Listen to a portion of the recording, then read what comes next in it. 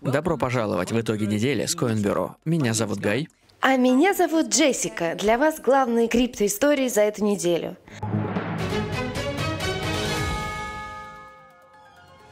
Свеча Бога. Биткоин переживает эпичный пробой, заставляя многих полагать, что медвежий рынок завершился, а бычий рынок вот-вот начнется.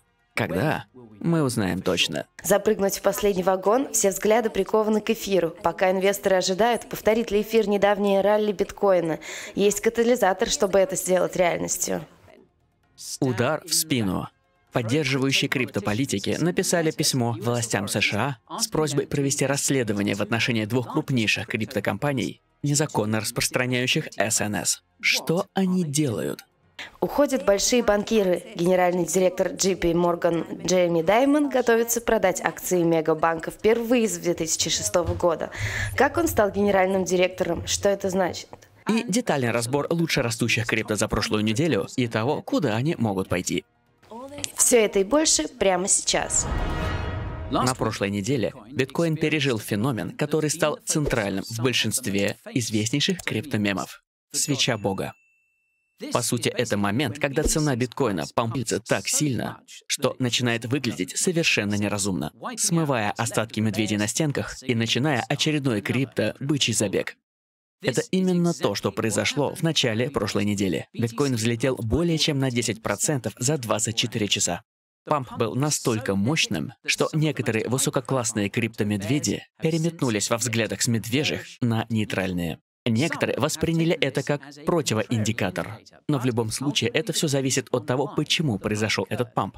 Как вы, вероятно, слышали, памп мог образоваться из-за появления биткоин спот ETF BlackRock на веб-сайте компании DTCC под тикером IBTC. На понятном языке это значит, что компания DTCC, обеспечивающая трейдинг на NASDAQ, добавила на свой веб-сайт биткоин спот ETF BlackRock. Естественно, это породило распространение спекуляций о том, что биткоин спот ETF скоро появится на NASDAQ. Как отметили многие наблюдатели за ETF, для заявок ETF появление тикера на сайте DTCC является стандартной процедурой. И, как в итоге выяснилось, этот тикер был добавлен на сайт в августе. Но даже этого было достаточно, чтобы вызвать памп биткоина, размазывающий шартистов на сотни миллионов долларов. А такое запампило биткоин еще сильнее. И все это продолжалось, пока DTCC не удалила тикер IBTC со своего веб-сайта, вызвав для биткоина внезапную коррекцию. Но тикер был обратно залистован спустя несколько часов, вызвав коррекцию по большей части коррекции. До сих пор до конца непонятно, почему тикер пропал на некоторое время. И во время разгара этого тикерного безумия наблюдатели ETF отметили, что недавняя поправка BlackRock по Bitcoin Spot ETF имела заметку о том, что управляющий активами менеджер может начать размещать ETF к концу октября. И как вы могли догадаться, это будет значить, что BlackRock начнет покупать биткоины.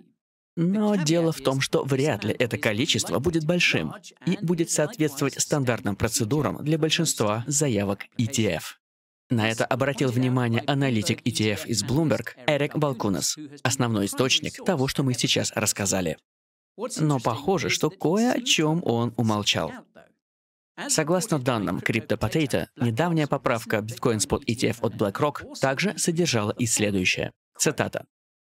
Из-за нерегулируемого характера, а также отсутствия прозрачности вокруг операций бирж цифровых активов, а также рынка биткоина в более широком смысле, стоимость биткоина, а также вследствие и стоимость акций могут быть негативно затронуты, вызывая убытки акционеров. Что ж, это может быть частью стандартной процедуры, но при этом может быть напоминанием об активно идущем регуляторном давлении на криптоиндустрию в США и в остальном мире. И как мы объясним позднее, это регуляторное давление, похоже, только ухудшается, а не наоборот. И похоже, что единственным бычьим катализатором является спот биткоин ETF. Конечно, безусловно, недавний рост биткоина стал впечатляющим, но важно помнить, что риски по-прежнему присутствуют. Также очень важно помнить уроки, которые многие из нас получили во время последнего бычьего рынка. Во время ФОМа самое время взять паузу и начать думать. И с учетом того, что индекс страха и жадности находится на самом высоком уровне с вершины в ноябре 2021 И с учетом всего сказанного нет никаких сомнений, что биткоин выглядит невероятно побычье. С учетом того, что закрытие месяца для биткоина готовится быть над полосой Боллинджера, является очень сильным сигналом того, что медвежий крипторынок почти завершен. Но даже это не говорит, что мы будем только расти. На нашем пути нас ждут множество коррекций. Далее, если вы собираетесь трейдить или просто по мере пути накапливать, то убедитесь, что вас не нагнут комиссии, а также то, что вы храните свою крипту в безопасном месте.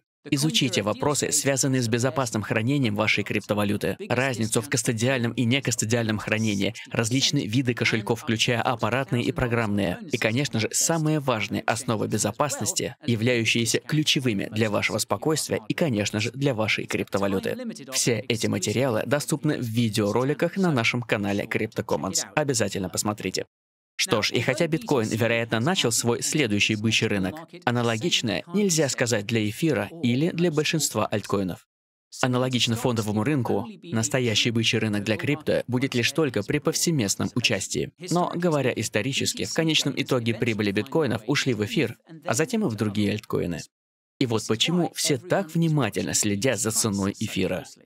Если мы в самом начале настоящего медвежьего крипторынка, то мы должны будем увидеть цену эфира, позволяющую, как говорят многие, делать догоняющий трейдинг. Это когда у эфира образуется такой же памп, который был у биткоина, по мере ротации инвесторов из биткоина в эфир. На прошлой неделе было несколько периодов, когда было похоже, что эфир на стадии взрыва. Смотря в перспективе, догоняющее движение эфира к биткоину означает памп в 20 или даже больше процентов. Пока же эфир особо даже не двинулся. По мере этого цена эфира, похоже, даже не смогла преодолеть оба диапазона Боллинджера, недельный и месячный. И это плохой знак, предвещающий большие потери в среднесрочной перспективе. А цена эфира в биткоине также говорит об этом. И похоже, она собирается опуститься до низов 2020 -го. И это поднимает вопрос о том, что за катализатор может быть для разворота медвежьего тренда эфира, выраженного и в фиате, и в биткоине. И наиболее очевидным является ответ, о котором особо никто не говорит. И это тикер эфира Spot ETF, появляющегося на сайте DTCC или аналогичной компании. Похоже, что все забыли, что ARK Invest и 21 Shares в сентябре подали заявки на спот ETF эфира. Допуская, что листинг тикеров на сайты клиринговых компаний, а также предложение ETF — это стандартные процедуры, то мы можем ожидать аналогичной серии заголовков об эфире и ETH. Как и для биткоина и BTC, это приведет к невероятному количеству FOMO, которое и приведет к FOMO, о котором мы только что говорили. Также это подготовит базу для оборота капитала из эфира в альткоины. И это уже точно подтвердит начало нового, настоящего медвежьего крипторынка. С единственным предостережением, о котором мы недавно говорили, это имеющееся регуляторное давление. И особенно от SEC. Похоже, что председатель SEC Гарри Генслер продолжает верить, что большинство крипто — это ценные бумаги, несмотря на удручающий проигрыш SEC в суде, а именно против Ripple. Более подробное видео мы выпускали на нашем канале. Теперь, честно говоря, недавнее одобрение SEC ETF по фьючерсному эфиру может быть доказательством того, что они готовы рассмотреть заявку на ETF по спотовому эфиру. И если так и есть, то, предположительно, цена эфира будет выглядеть совершенно иначе, нежели сейчас. И, вероятно, она не будет отставать от роста BTC. И факт того, что она еще не одобрена, может быть признаком того, что регуляторное давление продолжает оставаться очень серьезным. И провал недавнего листинга ETF фьючерсного эфира не помогает. Это стало лишь крупицей торгового объема, которую показал биткоин фьючерс ETF в 2021. Даже с учетом того, что листинга ETF фьючерсного эфира было несколько. Если же листинг спот биткоин ETF покажет такие же печальные результаты, то это станет кошмаром в самом лучшем случае. Но, к счастью, похоже, что крупные игроки воспринимают биткоин очень серьезно.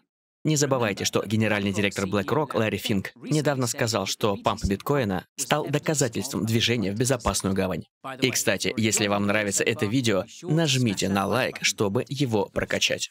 И, кстати, пока все в криптомире были отвлечены из-за хайпа вокруг биткоин спот ETF и вероятным о потенциальном обороте капиталов эфир, поддерживающие криптополитики США сделали кое-что в прошлый четверг, что можно описать только как удар в спину криптоиндустрии. Сенатор Синтия Ламис и представитель Френч Хилл написали обращение в Департамент юстиции США с просьбой провести расследование в адрес Binance и Teaser из-за потенциального вовлечения в финансовые незаконные действия с использованием крипто. Неудивительно, что данное письмо спровоцировало волну СНС в мейнстрим-медиа. И что самое здесь невероятное, что в самом письме говорится про распространяемый СНС. Крипто не так уж широко использовать в этой нелегальной финансовой деятельности. На самом деле, эта финансовая нелегальная деятельность продолжается практически эксклюзивно с использованием фиата и особенно американского доллара. Крипто на радаре едва заметно. В любом случае, Синтия и Френч настояли на начале расследования Департаментом юстиции в адрес двух крупнейших криптокомпаний по заведомо необоснованному предлогу. Но больше всего в глаза бросается из письма последнее предложение. Цитата. Мы яростно поддерживаем незамедлительные действия Департаментом юстиции против Бинанса и Тизера для пресечения источников финансирования злоумышленников, направленных на конкретные страны. Обратите внимание, что я перефразирую последнее предложение, чтобы YouTube не возбудился на это видео. Далее. Возможно, мы этому придаем слишком много значения, но... Но расследование и незамедлительные действия — это две большие разницы. Возможно, что Синтия и Френч имеют в виду очень быстрый переход к началу расследования против этих двух криптотитанов. Дело в том, что Binance уже находится под расследованием Департамента юстиции, по крайней мере, с мая этого года. Возможно, некоторые из вас помнят завирусившийся отчет, в котором говорится, что Департамент юстиции обеспокоен правоприменительными действиями против Binance из-за возможного рыночного краха, аналогичного FTX. Можно с уверенностью сказать, что такой коллапс будет гораздо более тяжелый, если это будет Binance, и апокалиптическим, а если это будет тизер. В контексте, Binance до сих пор обеспечивает более 50% спотовой торговли в крипторынке, и в настоящие дни практически весь торговый объем происходит в паре к тизеру USDT. Поэтому крах Binance будет эквивалентен взрыву ядерной бомбы, а крах тизера будет похож на удар астероида, вызвавшего смерть динозавров. Но большая проблема еще и в том, что все это замутили два наиболее поддерживающих крипто политика в Соединенных Штатах. Если они на самом деле политики, самые сильно поддерживающие крипто в США, то это говорит о том, что все остальные уж тем более не за крипто. Кто-то может сказать, что это лишь очередной пример того, что политики такие политики говоря о которых, важно отметить, что если вы следите за нашим каналом и нашими видео, вы знаете, что крипто имеет очень сильное лоббирование в Вашингтоне. И, вероятно, это стало дополнительным фактором, усиливающим поддерживающую криптопозицию, которую мы слышали от многих политиков. И недавний СНС заметно повлиял на старания этого лобби. И это значит, что как только политики, поддерживающие крипто, изменяют свой тон, то лоббисты, выступающие против крипто, усиливают давление. Но в данном случае объяснение может быть очень простым. Возможно, просто Синтия не была никогда поддерживающей крипто на самом деле, а только лишь поддерживающей биткоин. Показательный пример. В последнем декабре Синтия отметила, что эфир теперь является ценной бумагой из апгрейда мерч. Верите ли вы или нет, но похоже, это аналогичное объяснение, которое использовал председатель СЕК Гэри Генслер в отношении эфира. Его известное заявление о том, что криптовалюта Proof of Stake является ценной бумагой, вышло день в день с апгрейдом Merge. И это реальная возможность и отрезвляющее напоминание, что биткоин — единственная вещь, которую считают законной власть имущие. Все остальное — либо спекулятивные ценные бумаги или скам. И, говоря честно, это не совсем не так. Но в плохом регулировании была где-то упущена золотая середина. И это настораживает то, как они борются на пути распространения криптовалюты. И похоже, что в этом историческом сражении за финансовую свободу интересы настроенных против крипто начинают побеждать. И ирония в том, что почва, на которой находятся интересы против крипто, начинает ускользать, будто бы песок под вашими ногами. И это переносит нас к другому заголовку, который многие упустили.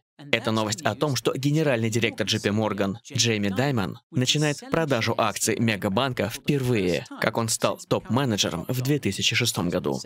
Интересно, что произошло это в один и тот же день с началом эскалации на Ближнем Востоке.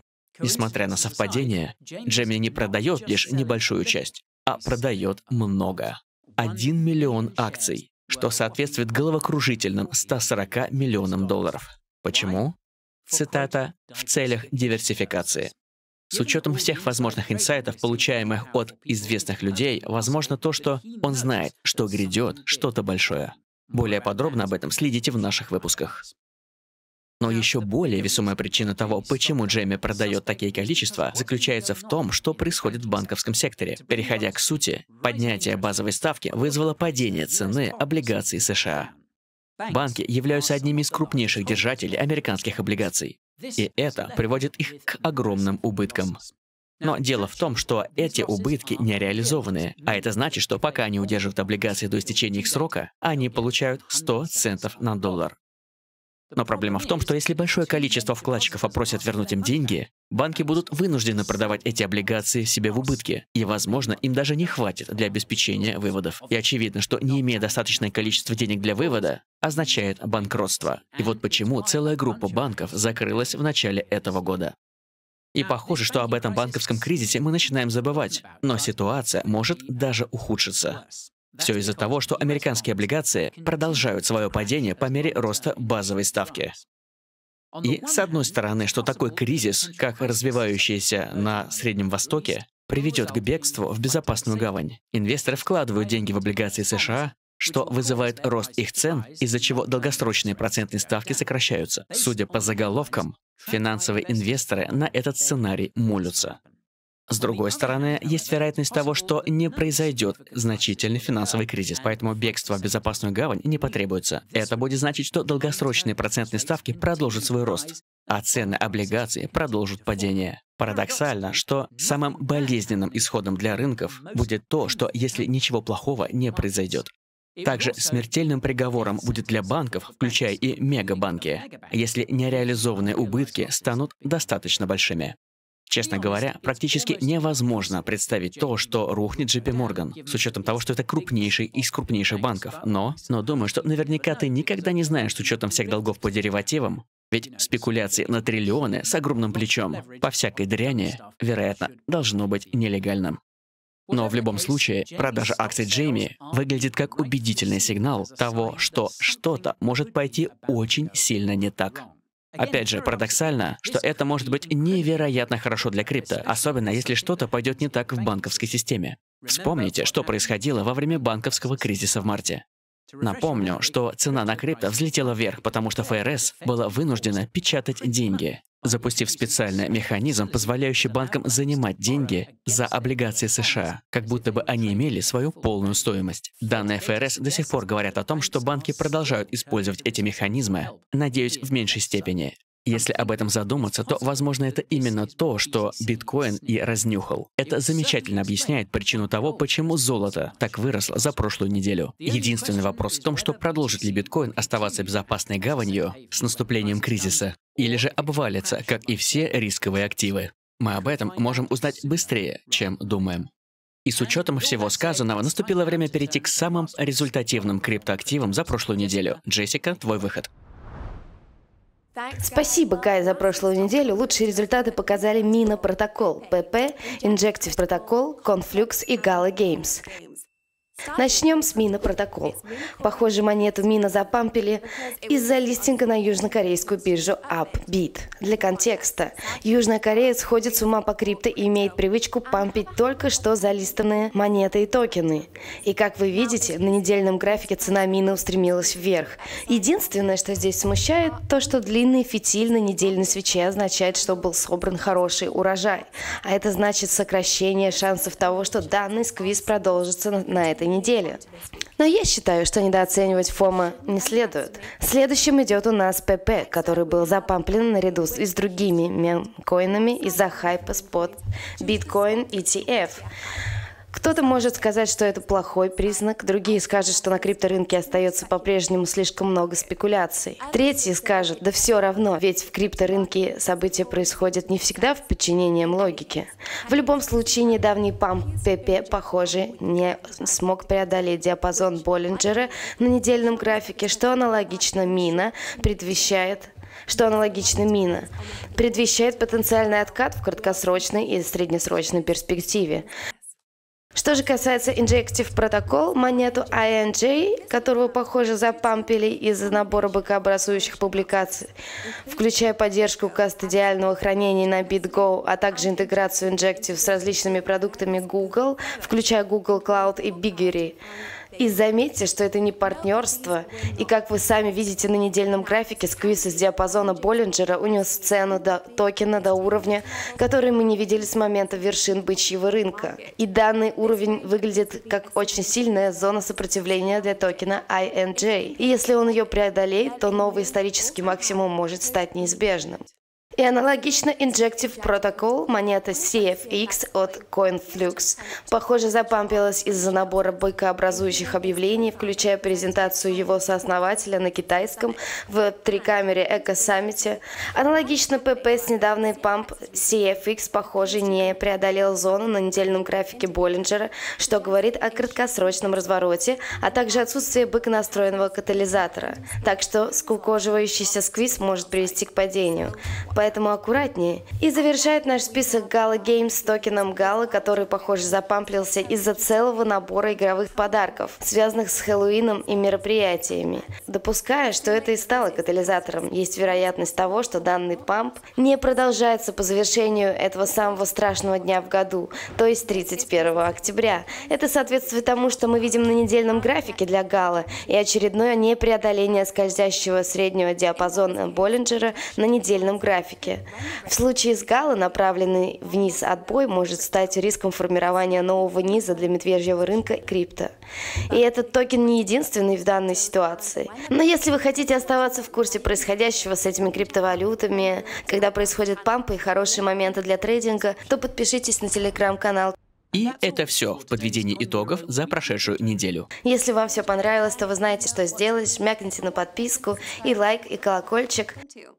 И не забывайте следить за нашим телеграм-каналом и YouTube-каналом. У нас есть масса полезной информации и интересного контента. И, конечно же, невероятные партнерские ссылки только для наших подписчиков. Все ссылочки на эти полезнейшие ресурсы вы найдете в описании под этим видео. Огромное спасибо за просмотр и до встречи в следующем выпуске.